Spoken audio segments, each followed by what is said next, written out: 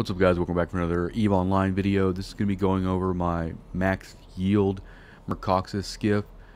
Mercoxit is a great thing to mine in Null. It has a very, very high ISK per M3 when it's converted into Morphite. So it's great for like mining in Null and then shipping off to Jita. It's great. It's a very slow process. The mining by nature is just a very slow cycle time. I'm going to go over the clone and the fit. Um, I usually, for my max yield stuff, I bling out quite a bit. So keep in mind that this clone and the fit are going to be pretty expensive. The clone's expensive just because, you know, we're using um, a set, but like it's an investment because you can use it, the clone with like moon mining or normal asteroid mining and stuff like that. So it's definitely an investment across, you know, mining in general.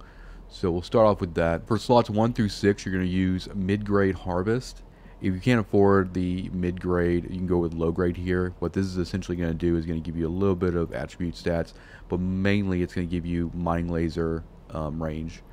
And then the Michi's Excavation Augmentor is going to give you 5% mining yield, which helps. And then the long-range targeting you have to have because with the harvest and your your laser range is going to be higher than your targeting range. So you want to get max you want to get your long range targeting skill max and also this implant to help compensate for that. I use shield operations here for slot 9. There's not really any better option here, so I just throw that in there.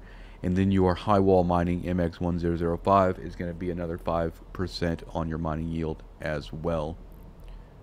And pretty much anything that I consider high yield, um, you know, if you're working with a want to work with like a high yield skiff or a high yield Hulk, the this clone is essential to be to being considered you know high yield because you have the 10% for the uh, coming from the combined 10% coming from Michi's and the uh, MX1005 plus the range is just a uh, a quality of life thing especially if you're mining with boost right? Now going over the fit starting with the rig slots we want to use a medium Mercoxit mining crystal optimization. What this will do is this will just give us a more mining amount bonus so 16% and then I use a medium core defense extender 2 here for a little bit more tank.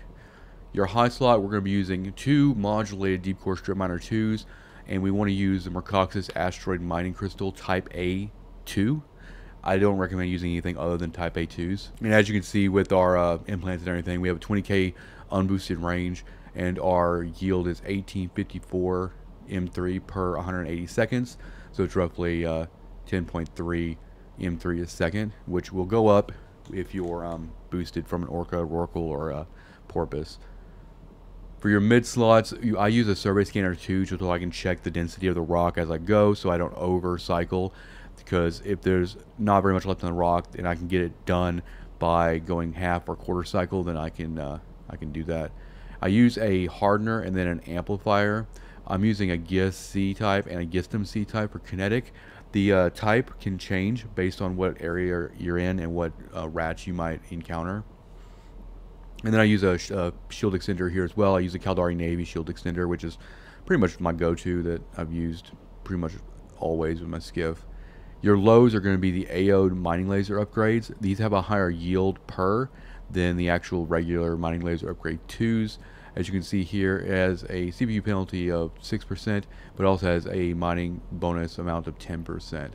So we try to use those to get to that max yield. Overall, Merc mining is extremely lucrative. It's a slow process. It's something you have to get used to.